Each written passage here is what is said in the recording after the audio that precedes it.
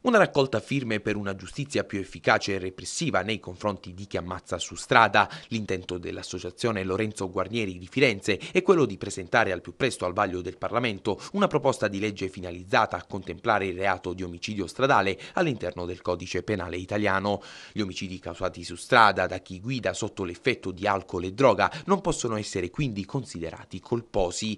Due esempi pratici: se rubi 100 euro dalla borsa di una signora e sei catturato da un agente di polizia, vai subito in carcere e vieni subito processato. Lo stesso ti accade se rubi una bicicletta, lì il processo avviene in direttissima e prevede una condanna ad un anno e sei mesi. Se invece uccidi un ragazzo di 17 anni invadendo la sua corsia, investendolo in pieno perché ti sei messo alla guida positivo alla cannabis e con un tasso alcolemico che supera di tre volte il limite di legge, non solo non vieni subito arrestato, ma in carcere non ci andrai mai. E quanto si riporta sul sito internet dell'associazione, l'obiettivo L'obiettivo è quello di punire non soltanto chi si trova in stato di ebbrezza, ma anche chi eccede in velocità o chi commette errori di distrazione. Un progetto nazionale al quale ha aderito per la Puglia l'associazione AGUVS con sedi a Castellana Grotte e Fasano.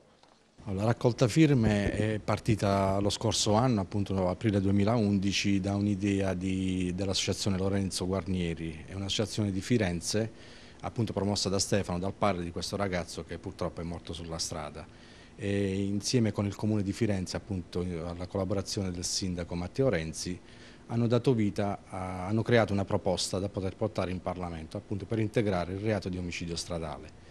E diverse associazioni in tutta Italia hanno aderito, tra cui anche la nostra, la GVS.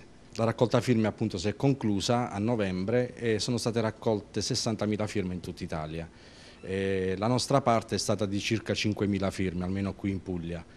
Eh, quindi sono state consegnate al sindaco Matteo Renzi che in collaborazione anche eh, all'onorevole Valducci che come politico appunto sta portando avanti questa nostra battaglia appunto per proporre in Parlamento questa modifica a, per integrare questo reato. Il reato di omicidio stradale eh, come previsto eh, va a punire quei casi eh, di guida in stato di ebbrezza quindi chi ammazza sotto effetto di stupefacenti oppure ubriaco. E noi però vogliamo anche eh, integrare il discorso dell'alta velocità e tante altre responsabilità tipo la distrazione.